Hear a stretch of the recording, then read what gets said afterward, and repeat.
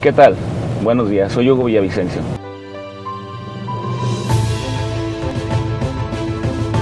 Ante la falta de respuesta de las autoridades estatales ante la, epidemia del dengue, el día de hoy, en un evento en Tlaquepaque, estamos eh, entregando pulseras para la prevención de la picadura del mosquito.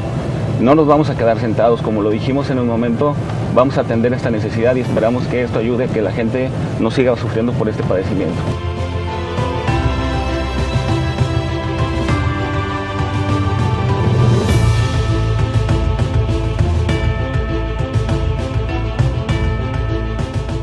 Y hace como 15 días murió otra sobrina mía de lo mismo.